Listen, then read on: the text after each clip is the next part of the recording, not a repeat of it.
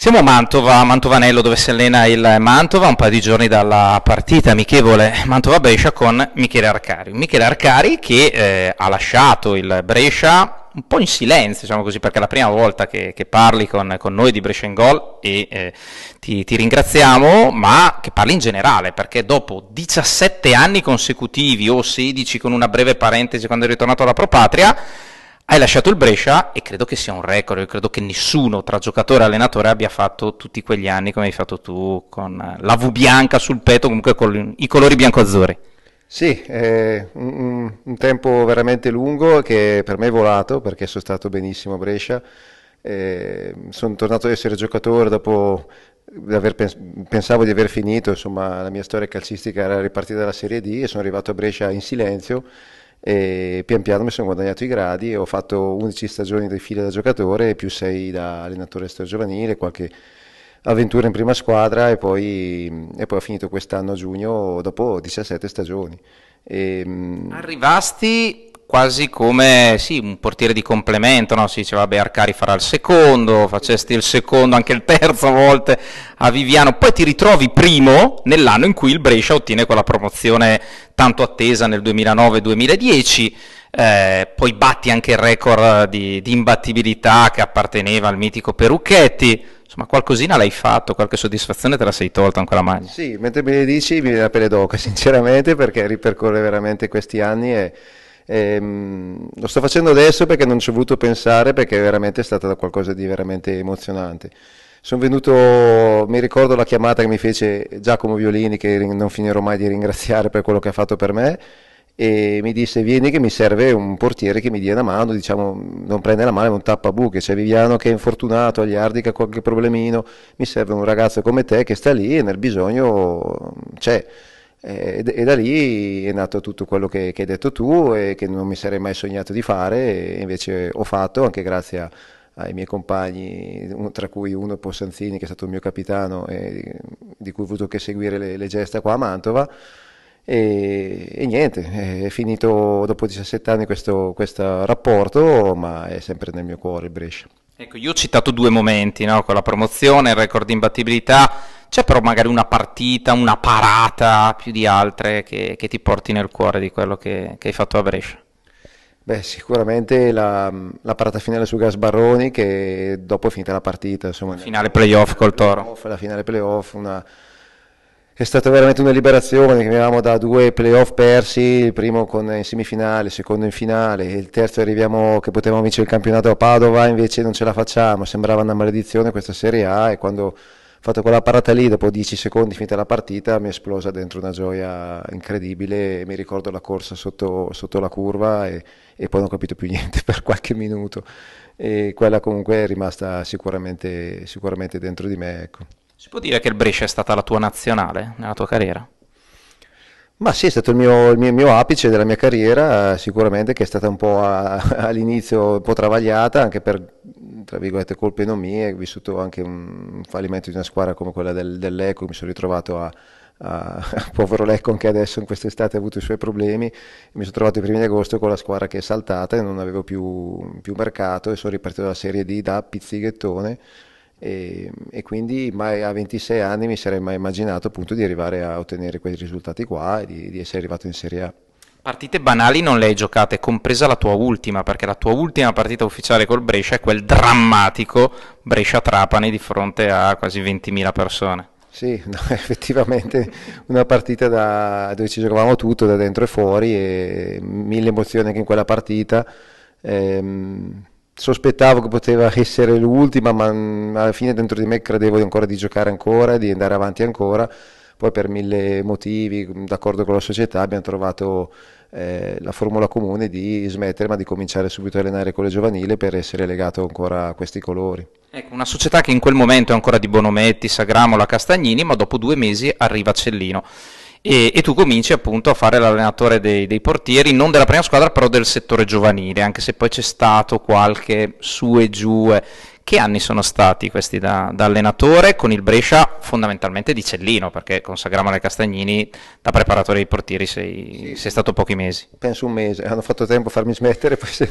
e poi se ne sono andati. No, a parte le battute, penso che eh, cominciare nel settore giovanile è un'esperienza che dovrebbero fare chiunque voglia fare questo ruolo, sia da parte dei portieri sia da allenatore, perché mh, ti permette di,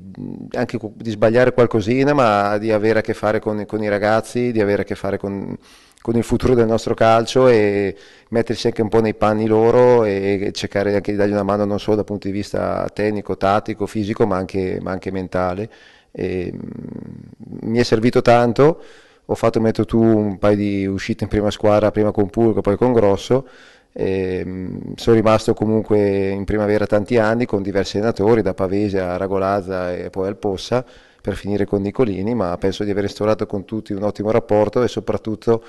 la soddisfazione di avere, di avere, avuto un ottimo rapporto con i ragazzi che quando anche adesso me ne sono andato mi hanno scritto dei messaggi veramente importanti e di quello mi ha fatto piacere perché vuol dire che ho lasciato qualcosa. Ecco, ma non ti sei mai chiesto perché non sei mai stato davvero preso in considerazione in questi sei anni per fare il preparatore dei portieri della prima squadra, una bandiera come te, un personaggio come te a Brescia? È una domanda forse che non devi fare a me, e, anzi sicuramente, io, io sono, sono, stato sempre a disposizione e, e, anche da dire che davanti a me c'era un ottimo preparatore come Vitrani che, che ha fatto comunque sempre il suo, il suo lavoro molto bene. Eh, io ripeto, ero sempre a disposizione, ho cercato di dare il mio massimo sia che fossi in Serie A con Grosso sia che fossi con, con, con i ragazzi in primavera. Ecco, tranne la partenza, mi riferisco ovviamente alla prima squadra, tu comunque la vivevi insomma più o meno direttamente sono stati anni pesanti questi a Brescia e continuano a essere anni pesanti, sai che c'è tensione, c'è contestazione, c'è stata questa retrocessione pesantissima sul campo, adesso ci sarà quasi certamente la riammissione, però non c'è una bella aria a Brescia. Sì, non ho le fette di salame davanti agli occhi, si, si vede, si percepisce una tensione mo molto importante e questo fa male perché comunque è una piazza che merita maggior serenità, maggiori risultati migliori e la stessa squadra penso che non faccia fatica a esprimersi insomma, quando, quando le cose sono così, così complicate. Ecco. Eh, I giocatori sono esseri umani, anche loro sul posto di lavoro meglio stanno e meglio rendono, questa è la mia idea. Eh, Nell'intervista che ci aveva rilasciato Davide Possanzini, probabilmente hai visto un mesetto fa, un mese e mezzo fa, lui aveva detto che questa tensione purtroppo arriva da dentro, cioè, lui dice, poi dopo certo se le cose vanno male anche i tifosi iniziano a rumoreggiare, però l'entusiasmo comunque c'era, c'è stato e, e Davide Possanzini che ha avuto quello che ha avuto, l'esperienza delle due partite e, e poi via, dice io fondamentalmente a Cellino chiedevo solo un po' di serenità, la, la, la possibilità di confrontarsi, di non creare questa tensione che stiamo dicendo proprio tutto nell'ambiente ed è questo invece che continua ad esserci e che fa il male del Brescia, sei d'accordo anche tu? Sì, eh, quello che ho vissuto Davide l'ho vissuto un po' di sponda, non l'ho vissuto realmente, però eh, il rapporto che, che, abbiamo tra me e lui è veramente quasi fraterno e quindi so cosa ha passato e so cosa avrebbe voluto fare per il Brescia. Eh, ripeto, io la penso come lui, quando, quando riesci a creare un ambiente sereno, bello, propositivo, è difficile che, che i risultati non arrivino se hai la qualità dei giocatori e, e questo aiuta.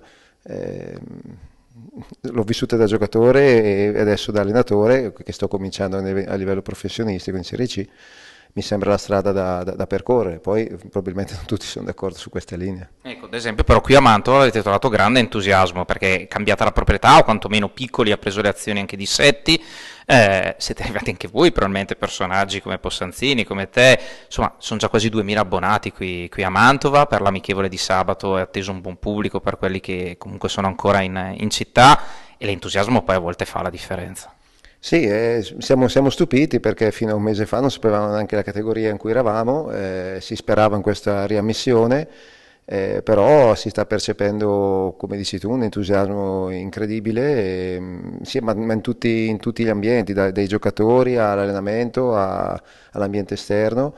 Eh, stiamo vedendo che i numeri abbonamenti, degli abbonamenti continuano a crescere e paradossalmente adesso dobbiamo cercare di, tenerli, di tenerci un po' più con, con i piedi per terra perché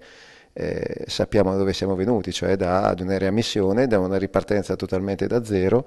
e quindi, quindi, fa bene l'entusiasmo. Adesso noi dobbiamo cercare di, di, alimentarlo attraverso le prestazioni e i risultati perché a fin di conti abbiamo fatto per adesso solo tre amichevoli. Sabato affronterete un Brescia che non ha ancora fatto acquisti se non vabbè Bjarnason che adesso è tornato a 35 anni farà un po' la chioccia, ci sono state alcune cessioni, giocatori, giocatori persi, è vero che il Brescia non ha ancora la certezza della riammissione però ormai al 99% sarà così. Eh, da osservatore, anche da tifoso al quale sei rimasto del Brescia, non credi che sia il caso di cominciare a dare un'accelerata adesso sul mercato? Perché poi dopo il campionato inizia anche per il Brescia. Eh? Eh, sicuramente sì,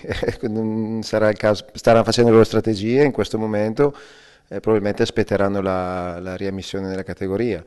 Ehm, è veramente difficile in questo momento secondo me valutare la rosa del Brescia perché come dici tu è in, è in work, in, work in progress si dice. E ehm, penso che una grande certezza da quello che sto leggendo è la permanenza di, di Bisoli che, che io, l'ho, gli ho anche scritto qualche messaggio l'anno scorso gli ho fatto i complimenti per come sta interpretando il ruolo di, di capitano di una squadra, di una squadra così e, e mm, fa piacere che, che, sia ancora lui a mantenere alto il, il nome del Brescia. Una cosa che ti chiedo invece cosa eh, ne pensi come vedi la gestione dei due portieri, cioè l'anno scorso parte titolare Lezzerini, poi entra Andrenacci, poi adesso deve giocare di nuovo Lezzerini, sono quei ballottaggi, quel dentro fuori che per chi fa il tuo lavoro e il tuo ruolo non fanno benissimo. Eh. Beh, è un po' complicato perché comunque è un ruolo particolare dove rispetto magari ad altri una gerarchia c'è, eh, c'è sicuramente eh, dell'anno scorso so che comunque conosco, conosco molto bene Andrenacci, meno Lezzerini, ma, ma, so che ha dato anche quando è stato fuori una, una, una, grossa mano, è stato molto corretto e dal punto di vista umano loro ci mettono la mano sul fuoco, ecco, penso che siano due ottimi professionisti e dopo la gestione eh, vedremo cosa decideranno di, di fare con le gerarchie quest'anno, però eh, a, livello personale, ripeto, mm, non gli posso imputare niente, a livello appunto mm, personale, dal punto di vista tecnico decideranno i mister cosa, cosa fare.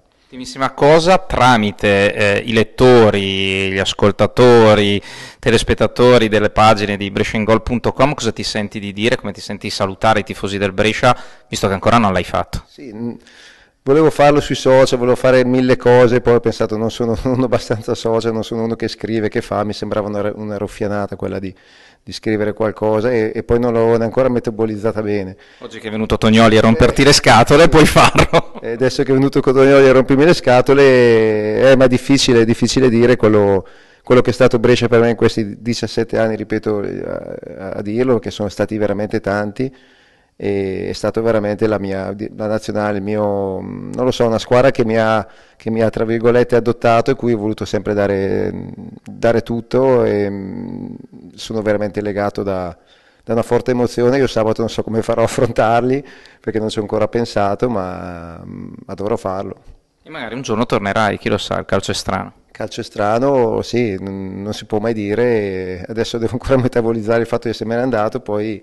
poi un sogno magari di, di tornare magari, magari, con Davide, sì, perché mi lega veramente un rapporto splendido con lui e, e ho deciso di seguirlo qui a Mantova anche perché credo in, fortemente in quello che fa e nella persona che è.